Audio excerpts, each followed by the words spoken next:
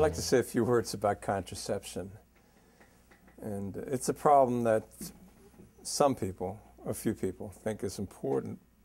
And the first thing I'd like to talk about is how important is it. The, the Pope, our present Pope, Benedict XVI, said that uh, the Church is teaching Humanae Vitae, which of course is the modern letter that uh, spells out the Church's constant teaching on contraception, that it's always unlawful.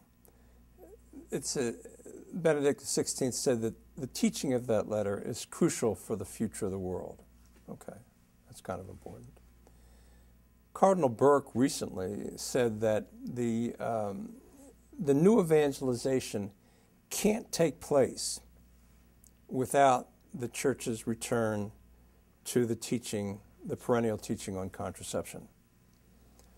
So, if you have a model of the reform of the church, which then is able to reform society, you can't do anything unless the church, the church as a whole, turns back, turns into uh, the acceptance, the understanding, the embrace of the teaching of Humanae Vitae.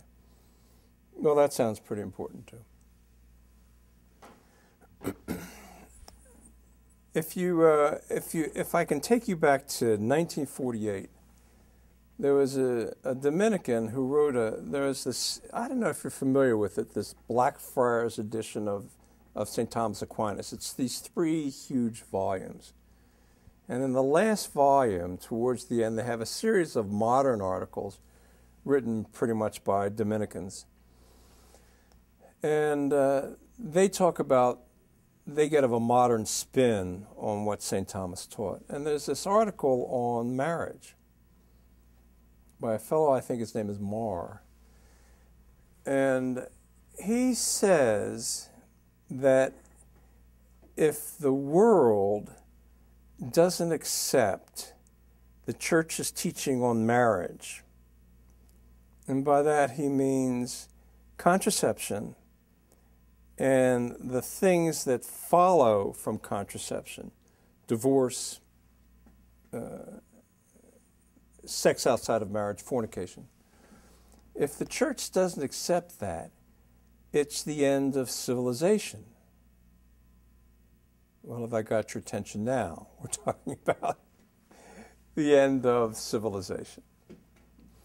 That if the people continue on this road of not accepting, of promoting contraception and its necessary consequences, that human beings will become like animals. He calls them brutes. That's the way they talked in 1948. We'll say animals. That people will become like animals again. Okay. Well, so if you look at it like that, then contraception is not an important question. It's not the most important question. It is the only question because the whole of the future of the church and of the world is at stake. Why did this fellow write in terms that I think a lot of people agreed with in those days, 1948? Why did this fellow talk in those terms? Well, you got to go back a little bit farther. Back in 1930, there was, I guess everybody here knows, there was what's called the Lambeth Conference. The Anglicans met every 10 years, they discussed everything. And in 1930, they finally allowed for contraception in their in their the church under for important reasons you're allowed to contracept. And the Pope uh, reacted very quickly with a letter called Casti Connubii, which stated in no uncertain terms that there could you can never contracept. It's part of the constant teaching of the church, and it's really unchangeable. So, okay, why does leaving contraception as a possibility? Why is that? Why does that mean the end of civilization? Well, what happened after the Lambeth Conference of 1930 was there was a reaction of initial horror by a lot of people, and then every Protestant denomination caved. And I think the last non Catholic denomination to cave in were the Orthodox. They're not Protestants, but they were the Orthodox, and they have caved in modern times so that you can contracept, but you can't use contraceptives that are abortifacients. So the whole world, by the time you got to 1948, the whole world around the Catholic Church was, uh, was contracepting with the approval of the religious communities. Now, he's talking about a situation in which the Catholic Church was firm within itself. People contracepted, Catholics contracepted in 1948, but everybody knew it was wrong. If you went to a priest, every priest would tell you it's wrong, Uh, however delicately, however good a confession they might be. But in the end, there's the notion it's wrong. They have to move you away from that toward a chaste married life. Everybody knew it. It was a universal thing. The church was compact within itself. I don't know what this fellow Marr would have said in 1968 when the church itself splintered and exploded in regard to contraception. So there's, he thought that if the world didn't accept the church's teaching, we'll have a new dark age. If the and we're in a situation where that the world doesn't accept it is taken for granted, but the Catholic Church and the vast majority, the vast, vast majority of its members, and in the a rather large majority of its priests, and functionally, I would say that every almost every bishop holds to the church's teaching on contraception, but functionally doesn't act according to the teaching of contraception. So in a state, a state of complete debilitation. The church has completely lost its compact nature as, a, uh, as the defender and promoter of, of, the, of the sexual ethic. Why does civilization have to simply dissolve if contraception becomes not only allowed, but a way of life, which is what we have? It's, it's a way of, it's a, an institutionalized way of life in the society, in the political society, in the, in the media, and in the Catholic Church too. It's been institutionalized. Why does this have to happen? Well, you might or might know that not. You might or might not know that I'm trained. I'm a biblicist by profession. I've spent most of my life studying or teaching sacred scripture. And the Pope has asked, Pope Benedict XVI has asked that the, the Church's teaching on contraception be, compla- be explained more clearly, that it become, be explained in such a way that people start to understand what it's about. So Martin the Biblicist is going to try to explain the Church's teaching on contraception and uh, the seriousness of it. There's that famous passage in that John Paul II uses. I'm going to use it slightly differently in a way that will not contradict him. That John Paul II uses, but I'm going to use. It's the famous passage. The, this is the the woman is brought to the man after she's the she's built up from his rib. God brings her to the man. He says, "This is this at last is bone of my bone and flesh of my flesh. This is why a man leaves his uh, his, his father and mother and is joined to his wife, and the two become one flesh. The two become one flesh. Well, you can go into commentaries and, and find out, you try to figure out what exactly they mean by one flesh. The Hebrew word for flesh is basar. You can write that down, B A S A R, or any other way that you want to write it. it it's, it's a Hebrew word, however you like to trans, transliterate. So, uh, for example, it usually means a human person uh, as opposed in his weakness or in need of others. For example, if you remember in the Gospel of Matthew, Peter confesses that Jesus Christ is, is Jesus is the Christ, the Son of the living God. And Jesus said, Flesh and blood did not tell you that, reveal that to you, but my Father in heaven. That it's something that can't be known or revealed by a human being, by a man, but it's something that has to be divinely given. So flesh is the human being, it's a human person. So the two become one flesh would mean, if that's the way we take basar, it would mean that it's talking about the personal union between the husband and the wife. It can also mean the male sexual organ. Ezekiel goes into diatribes about, well, I don't want to go into it, but it's the male sexual organ.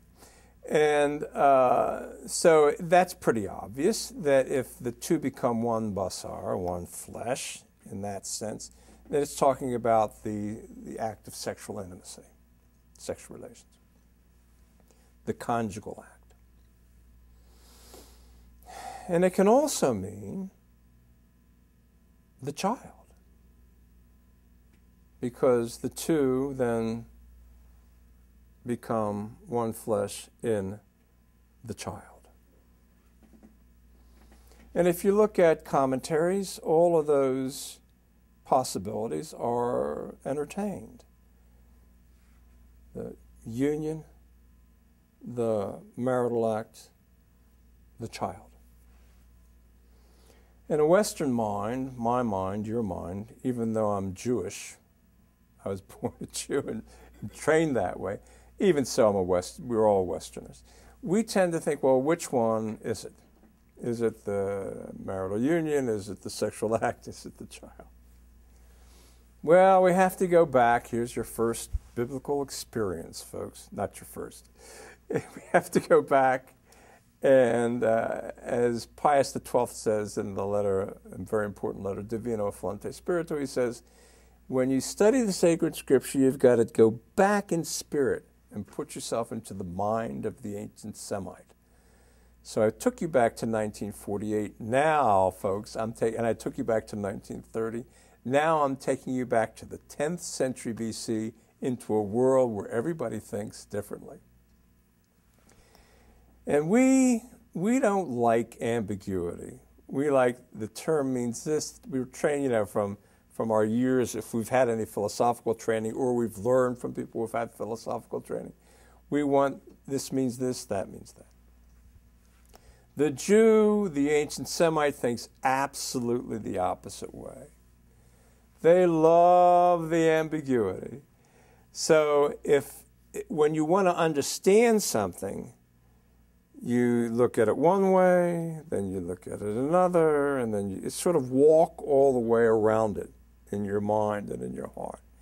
And you and after a while, you see it, and you don't you don't think, well, it's this or that.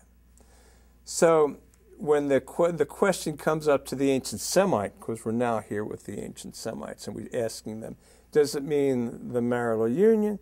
Does it mean the sexual act? Does it mean the child? And he says, yes. Yes, it does. So. if we understand the two becoming one flesh that way, then we have exactly the same thing that was said in the letter Humanae Vitae. Because there it said, in the sexual act, the unitive, that is the love union between the husband and the wife, and the child, the openness to the child, cannot be separated. And if we think that, like the Semite, all we have to do is say, the two become one flesh. And it says all of that. Is everybody okay with me now on this? Uh, are we are we all swinging here? Okay. So. Okay, and then if you think about it a little bit more, the place where the two holding all three together as one thing, still the essential, the most essential, is the child. Because that's where, in fact, the two become one flesh. The modern mind understands that better. the chromosomes and all that thing. And what were two people become, so to speak, all the traits of two people, dating all the way back to the beginning of time, those traits become the one person. So all that two become one, that is, the union hinges on what is the the most two become one in flesh. And in fact, it's metaphysical. It's it's an act. It's a reality. There's nothing analogous, right? It's the it's the child that becomes central. So if you deny the child, then the one fleshness is gone. So we're going to do a lot of work here, a lot of work on with one, the idea of two becoming the one, the one flesh. Okay, Marty, you still haven't explained why it's the end of the world. Well, here's the reason. the guys in in Genesis, Adam, but he's talking for every human being. It's the whole human situation. As a matter of fact, the writer of Genesis, that part of Genesis, called the Yahwist, he's this theological genius that loves to understand, loves to explain the beginning of all, every important thing in the world. So, why do human beings farm? Well, because they were made from the earth. God formed Adam from the dust, blew into his nostrils. Why do uh, uh, women have labor? There was an original sin, and so forth. All of these, uh, he, he wants to explain everything. Well, here he's explaining the whole, in some ways, the whole world around him. The man leaves his father and mother, cleaves to his wife, to use the ancient terminology, and the two become one flesh. He's setting up a new household. He's setting up a new family. now, if you think about it, no matter how many people are involved, no matter how much land is involved, even if the whole world is involved, it all goes back to that initial procedure of leaving father and mother, cleaving to your wife, and the two becoming one flesh. That is, everything in the world is based on a new household, a new household, a new household. It's one or eight billion or four, well, a household maybe two billion or three billion. So the whole societal structure of the world hinges on the man leaving his father and mother, cleaving to his wife, and the two become one flesh. When the two stop becoming one flesh, the whole of society, no matter how big or how small, dissolves. So, in considering also for the Semitic mind, all of culture was passed from father to son, from family to family. It's the end of all culture it's the end of society. You can look at it another way. The man looks at the wife and he says, This is bone of my bone and flesh of my flesh. And then the two become one flesh. What does it mean when you're bone of your bone and flesh of your flesh? Well, the woman doesn't have to be from the same family. Of course, it's not from the same immediate family. You can't marry your sister. So uh, the the woman, when she's married to the husband, becomes his bone and flesh, and that means that's an expression of being in the same bloodline. I'll go back to that misstatement I had before. David, when he's going to be brought back after the, uh, the revolution by Absalom, says, Yes, you can bring me back. You're bone of my bone and flesh of my flesh. That is, mean you're my kin. You're my relatives. You're my blood relatives. My brothers. The Hebrew extended term, you're my brothers. So the woman and man, when they become husband and wife, they become blood relatives, even though they don't come necessarily come from the same bloodline. There is a kindred or brotherhood that's established between them and I guess then between the, the, the two families. So if they're one flesh, then this bond of blood kinship is something that is established between them and established between the families. If you stop having one fleshness, if you stop being one flesh, then the bond of blood kinship no longer is there. The bond of blood kinship is broken. So that if we are in a world where husband and wife are one flesh, then the brotherhood of man, so to speak, is something that extends throughout the world. If we're in a world in which there is the universal rejection the universe, the institutional, political, universal, social, societal rejection of one flesh, then the whole notion of the kinship, brotherhood of every human being is ripped apart. So that all social relationship, not just the things that make us civilized, but the things that make us brothers one to the other, they're all ripped apart and thrown out. Okay, Marty, that was very, very delightful. Martin, that was that was just beautiful. Well, this fellow Marr, and then you, Marty, and others like you. I don't know how many of you are wandering around out there.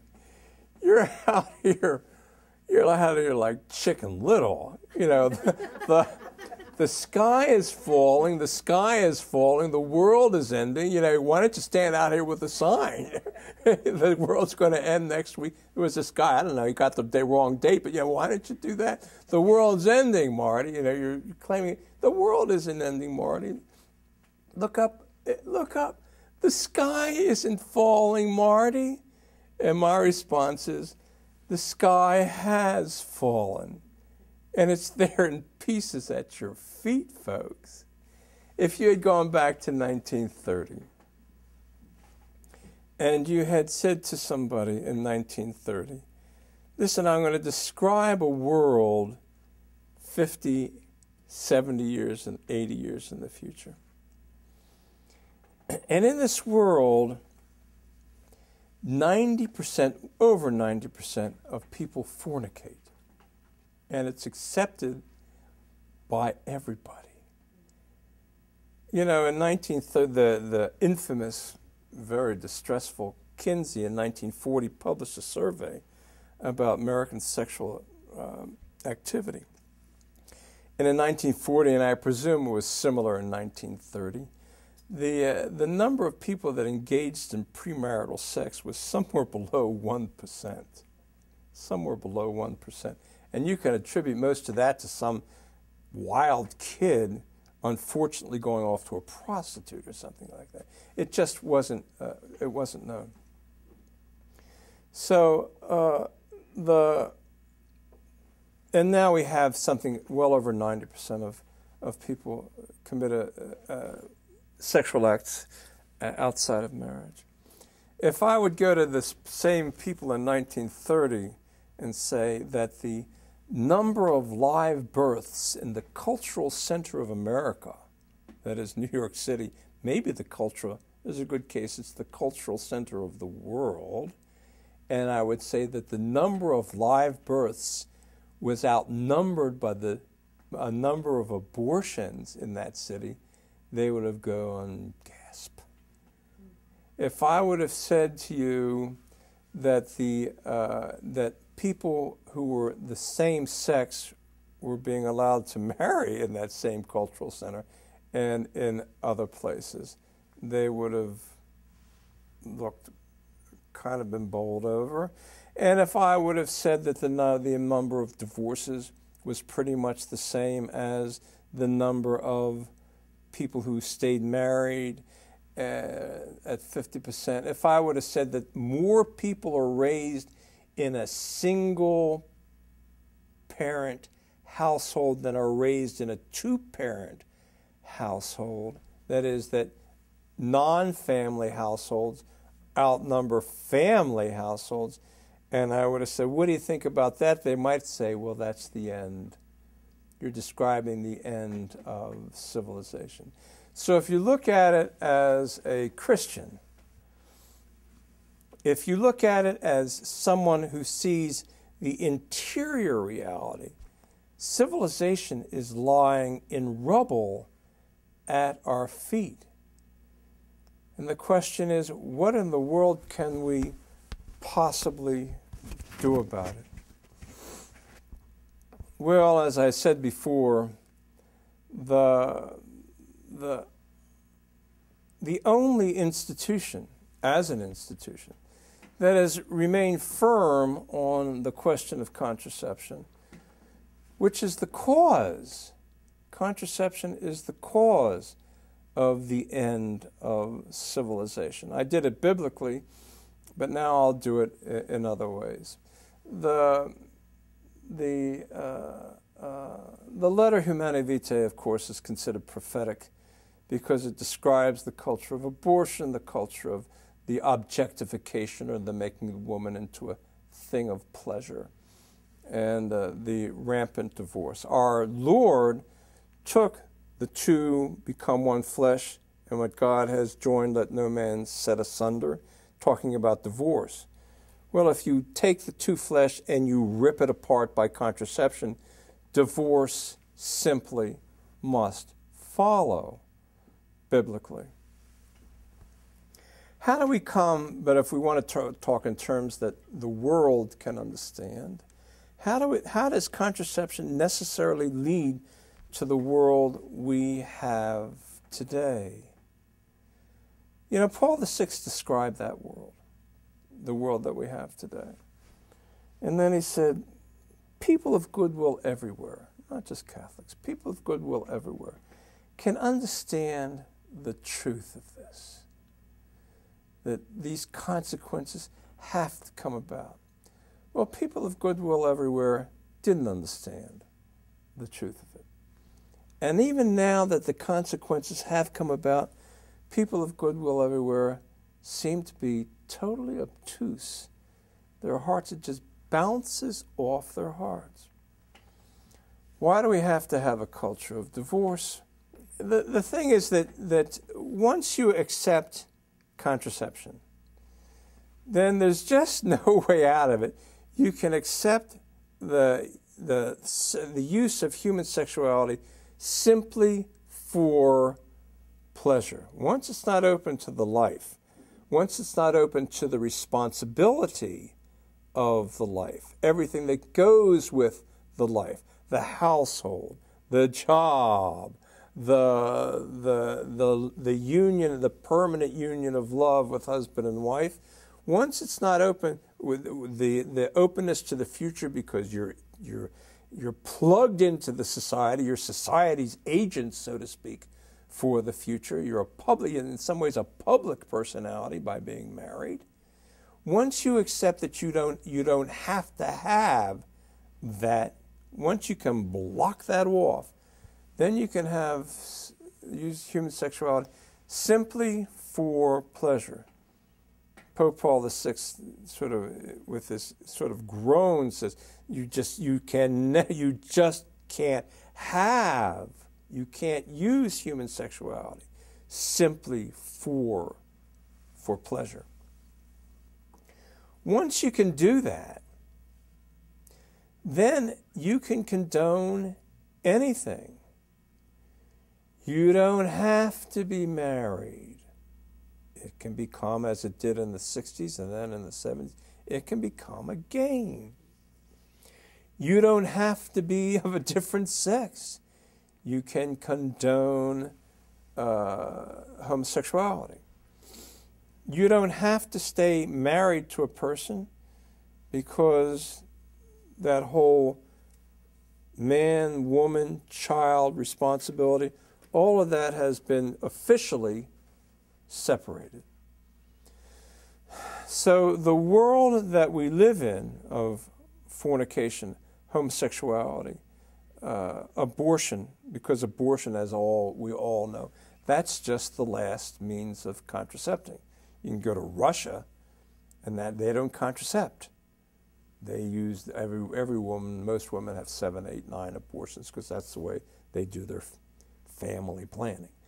So uh, the the uh, the everything every, the the society that the way that we have it today, which I've termed the end of termed the end of civilization, that society is built upon traces itself back in every instance to the acceptance, the widespread acceptance of, of contraception.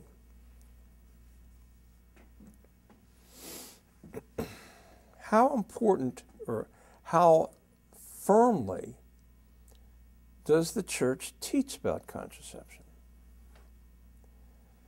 Well, you hear you heard a, a lot of people say that the church doesn't teach about it firmly. You had important, very important people. There was a fellow named Bernard Häring who was, uh, I guess, in the early 60s. Many considered him the most prominent moral theologian in the world. And in fact, he was on that commission, the famous commission that John the 23rd set up and then Paul the Sixth expanded, and they came back telling the Pope that we can now contracept, and the Pope didn't accept it and came out with the letter Humanae Vitae. Well, he was he was a, a very important guy and written some very important works, and he had a reputation as a, he was looked upon with reverence, but he caved. He dissented on that. Well, he spent the rest of his life dissenting more and more and more toward, till towards the end he accepted abortion in certain instances, uh, sex outside of marriage in certain instances, and he died with a sort of a personal vendetta against the Pope, a very important theologian. Well, people point to him. This is a very important guy. He says that the church's teaching on contraception is sort of, you know, optional. And then there was the uh, there are the notorious, even more notorious characters that are still alive: Charles Curran and uh, McBrien, and all of this, these, these folk. And then the most famous theologian of the 20th century, uh, Karl Rahner, who's everybody considers him the greatest. Not everybody, I don't, and not just because I, I of the whole I, the position I hold on contraception. I was trained by the Dominicans he was a Jesuit. Dominicans don't think a Jesuit think was the greatest was the greatest theologian of the 20th century. Well, you have to be kidding me. Okay, so. but there were there were Dominicans that came, that came to Schillebeeckx was a, one of the stars of, of the Dominican sphere, and he, he went off the deep end after he he uh, dissented on contraception. But Karl Rahner brought in this whole theology of dissent, and he had the, the fact that human beings are such that you can never you can never speak of unchangeable moral laws because we're all out here and we're subject to change in the circumstances to such a great deal. So he sort of was the the the guru that underlay the whole theology of dissent. Well, is this theology of dissent is it dissent or is it a reasonable theological position? Because you hear so many people say, and most of the, if you go to most parishes, the majority of priests will say, well, you have to follow your conscience on the issue. Well, you have to follow your conscience on every issue. But the question is, how do you form your conscience? The conscience doesn't decide. You follow your conscience, but the conscience doesn't decide. The conscience judges. And it judges by looking at everything that it can. So you hear, well, the Pope has said his piece, and you have to respect him, and he's the Pope, and then you have to listen to him and other people too, and ta da da da. Well, the teaching on contraception is as sure as God is God. If the teaching could, on contraception could change, then God could change. Well, we don't have to be professional metaphysicians here to know that God can't change. So it's built on the natural law, and the church has the ability to speak to the natural law, and it can speak to it with real authority. And it says that the that the openness to life in the marital act is as as a necessity is built into the human being. And it's built into the human being not because God said, hey, let's do a thing where you have to not can't contracept and let's build that into the human beings. And all the angels said, sounds good, let's do it. No, because the, the being the being built into the human being is an image of God Himself in the end, it is built upon, it is based in the very nature of God. I was in a, I was a graduate student for a couple of years at UCLA doing church history. I left there to become eventually a biblicist. But one of the fellows that I, uh, it was hard to call him a fellow, he was an old, very old and older and distinguished man, and he was a Catholic. He was the, the resident Catholic on the faculty, and he was the head of the American, at one, at one time, head of the American Medievalist Association. He was a prominent guy. And I was in a class on church history. It was the second class I'd taken with him. And I, was, I liked the guy a lot. In fact, I, even after this incident that I'm going to relate, I asked him to be the, the sponsor of my confirmation. I had been baptized but they didn't baptize and confirm adults at the same time. You, I was confirmed a couple years later. So, so and I had, I knew him after that. But anyways, we were in the in the class, and somebody asked, well, out of the blue, I guess, asked, well, the church's, uh, what about the church's teaching on contraception? You have to remember this was in 1970 70 or 71. And so in the end, he says, well, I think that someday it's going to have to change. Now, I hadn't been a Catholic for that long, but I had been raised an Orthodox Jew.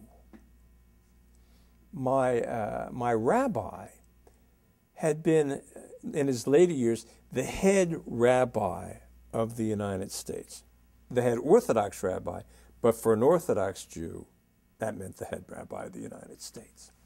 His father, Eliezer Silver, was the head rabbi of the United States from 1932 to 1969. Either he was officially in the position, it didn't matter whether he was or wasn't. He was the head rabbi of the United States. It's called the Silver Period.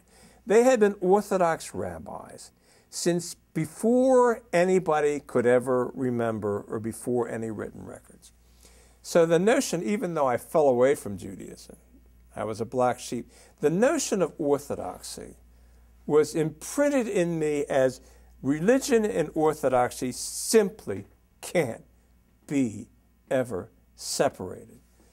So even in my in my casting around period at the beginning, uh, after, right soon after my conversion, I knew that orthodoxy in revealed religion, that was it. And so as soon as he said, I, I said my piece that it, that it was unchangeable and so forth.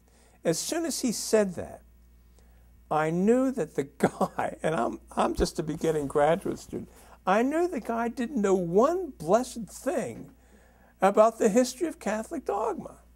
That's hard to say, talk about him because he was a very smart and a very, very lovable guy. So, if you look at the church's teaching on contraception, it was, let's look at it from our day. Uh, Pope Benedict XVI says it's unchangeable. Uh, John Paul II spoke about it over and over and over again. And then uh, towards the end of it, towards the, the latter part of his pontificate, the first part of his, of his pontificate, he spent five years every Wednesday afternoon. I don't know how many people standing out there in the square understood one blessed word that he was saying. I'm a trained theologian, folks, and I, I once tried to teach this that those five years of stuff is what's called the theology of the body today. Well, that, I once tried to teach a course on the theology of the body. And in the end, I thought I had to stop because all I could do was like read it. It's so dense, you really just can't, you just can't. People claim that they can reduce it and make it easily understandable. And there's a guy that goes around, does a lot of good work, don't get me wrong. He does a lot of good work. And, uh, but the, as to whether it can portray the theology of the body, uh, John Paul II had a whole lot to say that it's easy to communicate. But anyways, he for five years, people in the the, the square were going. And, but he he came out with this theology of the body, and in the end, he said it, all of it was a was a development, a defense and development of Humanae Vitae. That was how important it was to him. Paul VI came out with the letter in the teeth of controversy. Pius XII affirmed the teaching on contraception various times in his pontificate as something that is the same today, yesterday, today, and forever. The letter Casti Connubii was as stern as it could possibly be, so stern that many theologians, prominent theologians at the day, thought it was an infallible declaration of the Pope. So, is the letter, is, is the teaching on the, the, uh, on contraception, is it an infallible and unchangeable teaching of the church? Well, the people who are not particularly happy with the teaching say, well, it's never been defined ex cathedra. Does everybody know what ex cathedra is? The Pope says something to the effect of, uh, I hereby state, declare, and define as a successor to Peter this such and such to be held by all forever for the until, the, until forever. So it's now the Pope never came the either neither Casti Connubii or John Paul II or Pius XII or Paul VI ever came out with that formula. So it's not an infallible declaration of the church and it's changeable. Well, there are, this is in the theology, now that we finished some of our biblical lessons, this here's our theology lesson. The, there are several ways that something can be infallible, irreformable. One is that it's defined with a, some the Council of Trent usually defines something with an anathema. That is, if you don't accept this, you're lost. So, uh, and that if the if the council says that, and it's ratified or in communion with the Pope, then that's infallible. You know, there's a whole lot of decrees from the Council of Trent. And there's some decrees from the First Vatican Council that, that talk about that sort of thing. Or the Pope can define something ex cathedra. I hereby state that we did that. Uh, Pius IX defined the Immaculate Conception. Pius XII defined the Assumption with those formulas. But there's a third way that something can be de fide of divine and Catholic faith. That is, it's, it's, it's infallible by ordinary magisterium of the Church. The Second Vatican Council talks about that. They didn't talk about it out of the blue. It's always been held. And this is where, how something is considered to be de fide by ordinary magisterium. If there's any time in the church, it doesn't have to be today, any time in the church where something is taught authoritatively, without exception, by the, all the bishops of the world. It doesn't have to be every last bishop. There can be some guy out there in the jungle someplace that goes a little bit wacko. But if the if the if the moral majority of the church, if the moral majority of the church, a, a moral unanimity of bishops in union with the Pope, teach something, and especially if the, the Pope teaches something, if there's any time when that's done, That's de fide by ordinary magisterium. It belongs to the deposit of faith. It's of divine and Catholic truth. Now, just to give an example, let's go back to 1930 when Pius XI issued his letter Casti Connubii. Well, if you went around the world polling bishops as to whether contraception is a valid or invalid thing to do, and there's a fellow named Noonan who wrote a book on the history of contraception. He did all the work, the legwork on this. He came to the wrong conclusion, amazingly, but he did all the legwork. If you had gone all around the world, there wouldn't have been one bishop that would have stated that contracepting is a valid or good act. Every bishop in the world would have stated with a great deal of assurance that contraception is a wicked act. If you had gone to theologians, theologians don't count in this, folks, but if you had gone for de fide by ordinary magisterium, it has to do with the bishops and the pope. But if you had gone to theologians, there would have you would have hardly been. I don't think you would have been able to find one that was a, that was simply accepted as a theologian in the Catholic Church that would have said that the uh, that that contracepting is a valid act. That state of affairs, and you could have gone back to 1900, you could have gone back to 1850, 1750, and whenever you wanted to, and that unanimity among bishops would have been there. There is no possibility whatsoever that the church's teaching Humanae Vitae, the church's teaching on contraception, is anything but de fide by ordinary magisterium. That means it binds. And if people knew what they were doing and saying, and they don't, but if they knew what they were doing and saying, that to deny the church's teaching on contraception is an act of heresy, folks. It's an act of heresy.